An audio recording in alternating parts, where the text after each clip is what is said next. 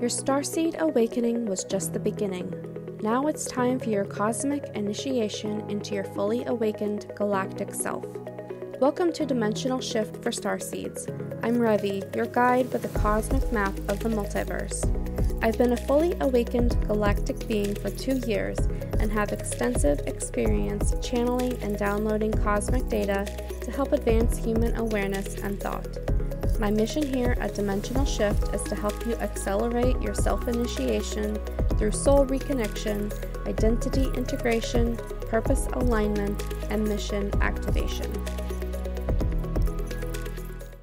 Hey everyone, welcome back to Dimensional Shift. I wanted to go over a few different things today, kind of an update of what's going on in the universe I thought it would be fun since all of the politicians in the United States are giving all of their updates.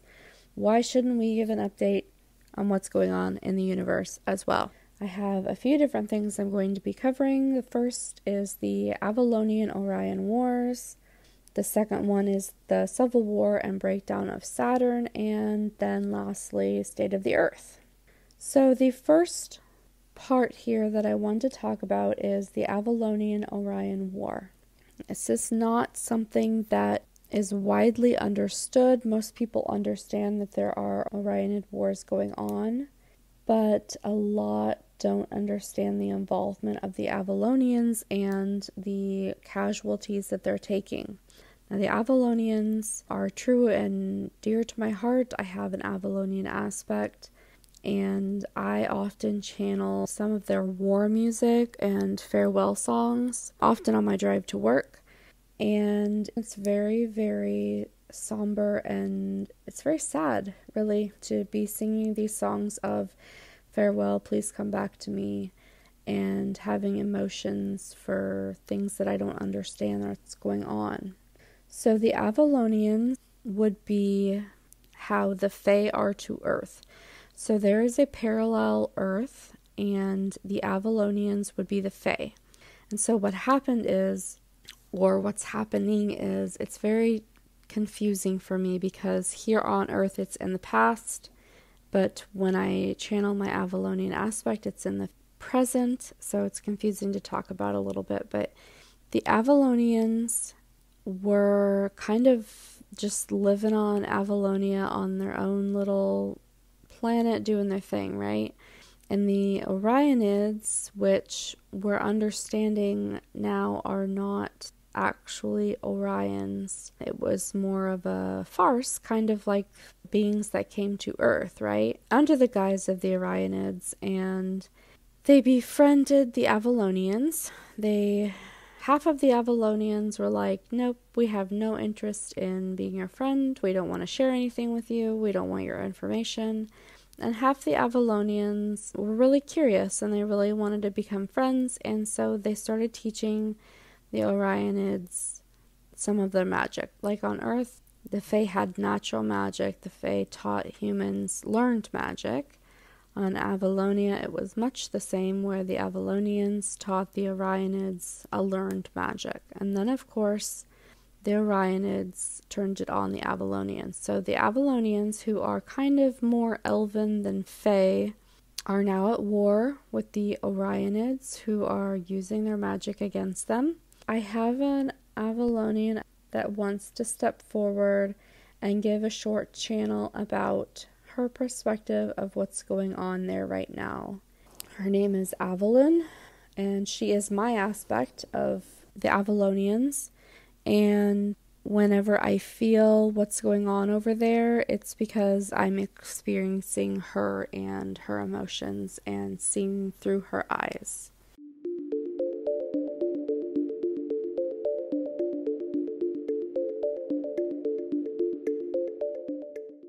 Not all of us go to battle. Some stay to keep the homesteads ready for those who return. As they march off to battle, we sing them songs. Farewell, come back to me. It's not the end, come again. It's a little bit of magic that we can send with them, but really the only magic we can send is our love and our hearts and our hope that they come back. We are not used to war. We have never been in a war on this level. Any war we've had has been between tribes, which is very rare. We are peaceful. We share our magic freely amongst tribes. We are not selfish. We don't worry about limited resources. We always feel like someone has our back. And to be betrayed like this by whoever these people are, whether they are truly Orion beings or Orion agents of the Archons, which is something we are still unfamiliar with. But what we understand is that the Archons come and they bleed a planet dry, and those who fall to the greed and the power hunger go on to other planets to bleed them dry. And it goes on and on and on, and all we can do is stand up and fight to protect our homes. We are not optimistic about this war. We feel similar to what Earth must be going through, where some of us will ascend on a timeline split, if you will, where some are left behind to become agents of the Archons themselves, fall into the greed, and to the power hunger, and to the selfishness. They go to war in armor with swords and bows, but we know that it's not that kind of battle. This is a spiritual battle it's a mind battle. They will be offered freedom from battle. They will be offered freedom from death. They will be offered money, prestige, power, any temptation that you can think of, anything to get away from the pain and the misery and the death that seems to be coming for all of us. Not everyone we sent will return to us. Most will fall, and as I said, become agents of the Archons to go somewhere else and do it again. Even now, as I speak, I feel the darkness closing in, but we will fight just as you are fighting, because to give in is simply not an option. So we play out in the macro what you are playing out in the micro, or perhaps it is the opposite. I suppose it doesn't really matter. Just know that you are not alone in your fight, you are not alone in your struggle, and that I hope someday our timelines will merge and the Avalonians and the humans or the freed galactics will become one and we will get to meet each other on a different level, on a level of freedom, on a level of love and trust and mutual agreement and together we can mourn our lost brothers and sisters and friends. I wish I had more of a message of hope, but I suppose right now we are feeling mostly despair, just as many of you are, and so all I can say is we just have to keep going. We just have to keep protecting ourselves, sending love to those who fight, and supporting each other. That's all we can do.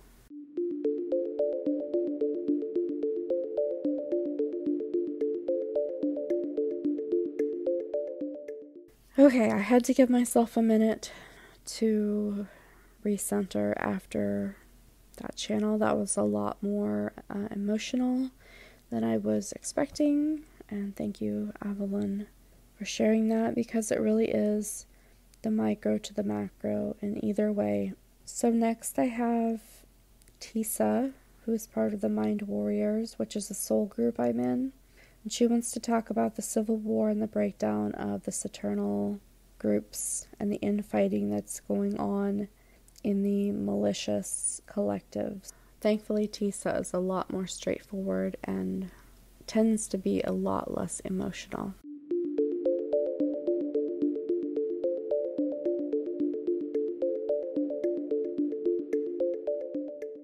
The Saturnal groups are breaking down. There's a lot of civil war going on, there's a lot of infighting, a lot of power grabs, and people trying to scramble to the top. Pretty typical for people who want only for themselves. The grays are out. If you encounter a gray, tall or short, they're on their own agenda and they're doing whatever the hell they want which is fine, I guess. At least they're not necessarily a threat in a larger scale. If you encounter a gray, you do have the ability to tell them to fuck off. I give you full permission. Generally, they're not too harmful, they just want to have some experimental fun. That being said, when you tell them to fuck off, you have to actually feel it. You cannot just be afraid and say it. You have to mean it in a way that will, I suppose, in some way frighten them.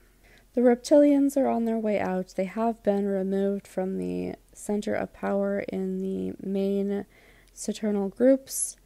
They are sort of clinging at the sides, trying to maintain a grasp of their power and money and prestige, but no one in the Saturnal groups is taking them very seriously anymore. They have had far too much exposure, and honestly, their tactics have become somewhat archaic. The White Lighters, who are the shapeshifters and who prefer to appear as angels to get you to trust them, still seem to be somewhat of a threat if you are buying into the most galactics are all good and angels are here to save us thing. White Lighters themselves do little damage, but unfortunately, they are the henchmen for the bigger guys who will lead you astray and directly into their waiting arms. If you encounter a being that appears to want to help you and do good, but feels a little bit cheesy, like it's a little bit too good to be true and a little bit too loving and maybe a little bit too bright or whatever it is, just ask some questions. Trust your intuition these guys are actors, but they're not Academy Award winners. Most of them are copying very, very archaic, traditional, angelic signatures. And if it appears as a bright light and as a white man with wings, then you need to be asking some questions. The Alpha Draconians continue to be a threat, although they have been removed from some of their positions of power because of their own misuse and abuse of the system. They have their own agenda, and those that they're supposed to be working for don't appreciate that very much. Going on up from there, we have the top of the top, which is the archons and the quantum manipulators. Some people call the quantum manipulators the quantum reality fuckers. They're kind of the same thing. They are not managing their army very well. There is a lot of fighting within the groups and between the groups, and as the matrix continues to break down, as the light workers and star seeds and galactics are awakening, they are starting to panic just a little bit. This is just making them tighten their grip down even further on humans and the Matrix itself, doubling down on illusion and addiction and technology and all of that. And a lot of people on earth are suffering more because of it. Remember that they have power through your despair, depression, anger, fear, any negative energy that they elicit from you is power to them. While we at the Mind Warriors don't believe in toxic positivity, the more time you can find to carve out for stillness, for calm, for simplicity, for gratitude is time that you take away from them having power over you. the less power they have over you, the less power they have in general. The micro to the macro. Whatever you heal in yourself, you heal in others. I want to talk a little bit about the quantum manipulators because this is a group that has lurked in the background and is not well known. I and Revi will probably get some lashback for this, but we're prepared for that. The quantum manipulators have been around as long as the archons. They seem to be an essence of the cosmos itself, and the collective split because one group wanted to abuse its power and the other part of the group didn't. Typical, right? Heard this story before. Quantum manipulators are one of the only collectives that we've ever seen that have the ability to take matter and rearrange it into something else. This would be like taking lead and turning it into gold. They are the original alchemists, but just as alchemists do, they either use their power for good or they use it for evil. Unfortunately, the ones who use it for evil are the ones that are most well known right now, and the rest of the quantum manipulators are underground to protect themselves from the other part of their collective. There is a significant number of quantum manipulators among you on Earth. Unfortunately, your abilities to quantum manipulate are veiled. At some point, when that is all removed, quantum manipulation will be restored to you. Perhaps not on Earth, we're unclear about that as of yet. Theoretically, you should be able to, but we have yet to cross that bridge. As it is, if you are a quantum manipulator, you are a target for other quantum manipulators if you make yourself known. If you have serious addiction issues, if you have issues in your life with drugs, sex, alcohol, shopping, social media, those sorts of things. And we're not talking spending a couple hours on social media a night, we're talking serious addiction problems. This is one of the best ways that quantum manipulators keep quantum manipulators distracted. Going back to Saturn, we have a systemic breakdown happening, which is good news for us, but it also begs the question of what's going to happen next in their chaos, who's going to grab power next in their chaos, and is the next boss going to be worse than the current boss?